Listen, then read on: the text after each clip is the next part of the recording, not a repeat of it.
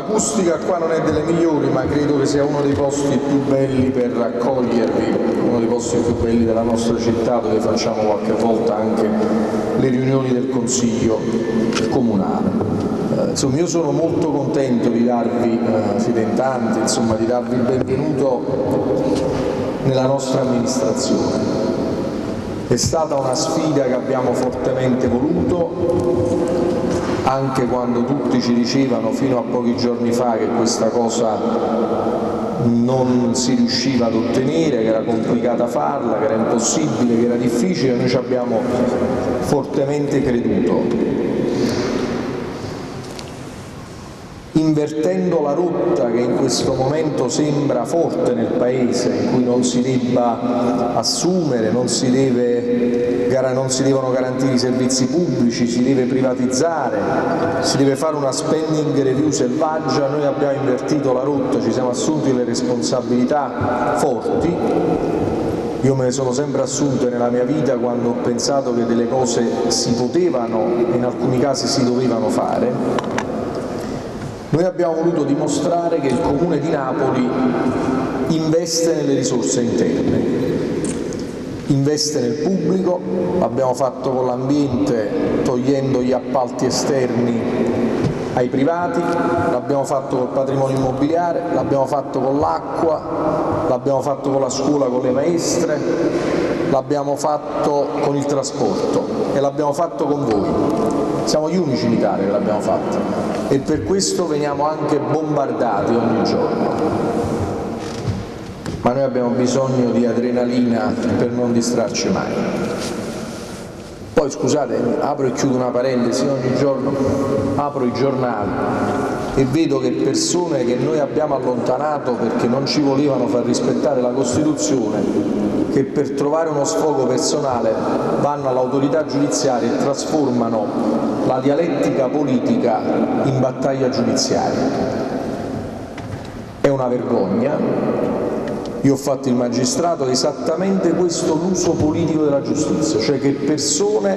per trovare in qualche modo una propria soddisfazione personale di fronte a un fatto che loro possono anche ritenere ingiusto, per carità, sul piano personale, è chiaro, chi viene mandato via come assessore o come direttore generale perché non è in grado, è chiaro, non sarà contento. Io sono stato eletto per portare avanti un programma, non è che se uno mi mette un ostacolo davanti io mi devo fermare. Mi dispiace che i magistrati siano costretti a occuparsi di queste cose, invece ci sono tanti problemi seri nella nostra città. Io mi auguro che voi sentite quanto sia importante questo passo. Noi non ci possiamo consentire di interpretare la funzione pubblica come una funzione meramente burocratica non ci possiamo consentire di limitarci a fare il compitino, vado a fare le mie sei ore di lavoro, le mie otto ore, vado a fare... no. Oggi Napoli ha bisogno di persone che credono nell'amministrazione pubblica, credono nella città, credono nelle funzioni che voi andate a esercitare. Quindi io da voi mi aspetto, oltre che la competenza professionale, consentitemi, mi aspetto una grande passione per la nostra città. Di competenze ne abbiamo, ma ho visto gente molto competente che non aveva un briciolo di passione per la nostra città. Non mi interessano queste persone. Mi interessano persone competenti che la mattina si svegliano e sono orgogliose di fare qualcosa, anche qualcosa di piccolo, perché anche aggiustare un tondino, anche aggiustare una iola, anche sistemare una fogna, anche fare bene il poliziotto municipale, per me sono grandissime cose, non piccole cose. Dobbiamo mettere in campo un grande spirito di squadra. Io ci sto sempre, faccio i miei errori, perché ovviamente lavoro 18-20 ore al giorno, certe volte sbaglio, certe volte faccio bene, però abbiamo una grande passione, una grande abnegazione e consentitemi una grande onestà che di questi tempi non è una cosa proprio da sottovalutare. Quindi noi siamo felici di questo giorno, siamo felici perché l'abbiamo fortemente voluto, immagino come siete felici voi. Alcuni di voi li ho incontrati anche in un passaggio abbastanza delicato di qualche giorno fa, vi dissi che dovevate avere fiducia, bisogna essere sempre fiduciosi. Quando si fanno battaglie in cui uno è convinto di stare dalla parte giusta, anche quando viene il vento contrario non devi abbassare la schiena, che qua il vento contrario è continuo è tutto in salita, però è tutto più bello,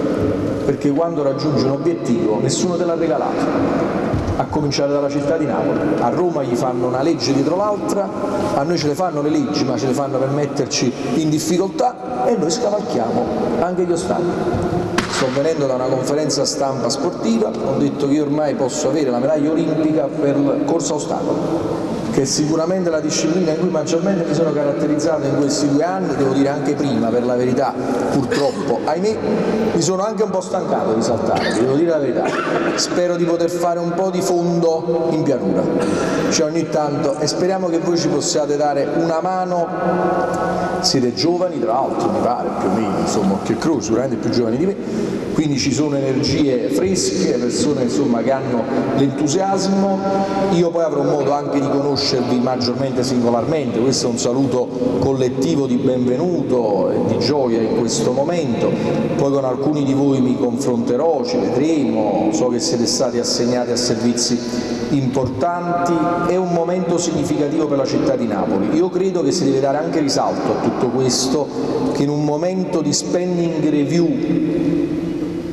becera certe volte, noi riteniamo che si deve invece investire sulle risorse pubbliche. Ovviamente questo significa che chi lavora nel pubblico, chi ha una funzione pubblica si deve meritare quel posto, cioè deve finire la stagione che siccome ho vinto il posto pubblico io dal giorno dopo posso fare quello che mi pare e questo ovviamente vale per tutti noi, vale per i lavoratori, vale per i sindacati. Oggi il posto pubblico è, tra virgolette, uso un termine improprio, ma è un gran privilegio nei confronti di chi sta in mezzo a una strada e ha le stesse competenze vostre e che magari non è riuscito come voi. Quindi noi do dobbiamo dimostrare che ci siamo anche per loro, che quindi dobbiamo indossare la divisa di appartenenti all'amministrazione pubblica come se fosse una missione nell'interesse di tutti i napoletani. Io un po' provocatoriamente ho lanciato l'altra volta l'idea Napoli città autonoma, significa che mi sono convinto in questi due anni che noi ci tiriamo fuori da soli, non ci aiuteranno, questo è un poco un qualcosa che ci tiriamo indietro da 150 anni, però dobbiamo finire di lamentarci,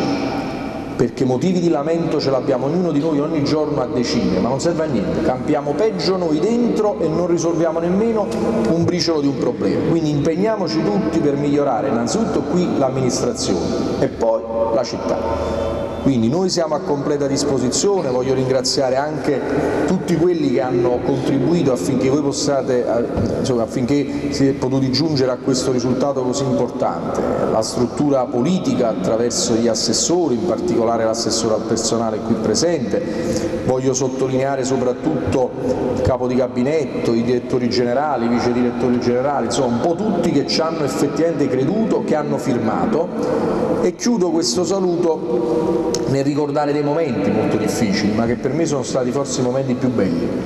dove l'ho deciso in una notte alle due, quando tutti quanti mi dicevano che io dovevo chiudere perché Monti aveva deciso la spending review, dovevo chiudere gli asili nido della mia città e c'era l'ex direttore generale al quale oggi i giornali hanno dato grande lustro e pubblicità, lustro dico tra virgolette ovviamente, che mi diceva che non si poteva fare,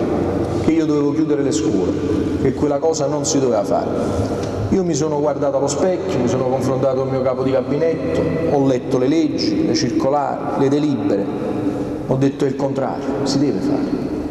perché le scuole si chiudono quando c'è la guerra, quando c'è il colera, quando c'è il terremoto. Le scuole non si chiudono per la spending review. Ho preso carta e penna,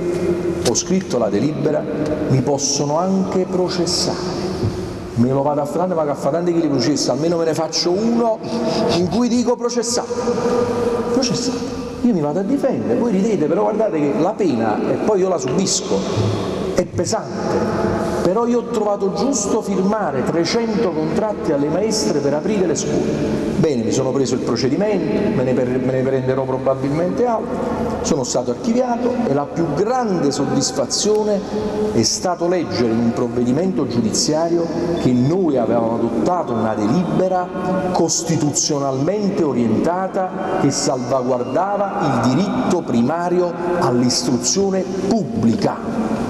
Io credo che non c'è modo migliore, ma lo dico senza presunzione, con umiltà, di far vivere la Costituzione repubblicana per cui c'è stata gente che è andata in galera, è stata ammazzata, per consentirci a noi di essere liberi e avere dignità. Chi si nasconde dietro alla burocrazia, per me se ne può anche andare, io rivendico con orgoglio che questa gente si è andata a rifugiare in un'aula giudiziaria per non dichiarare pubblicamente di aver fallito. Auguri e buon lavoro.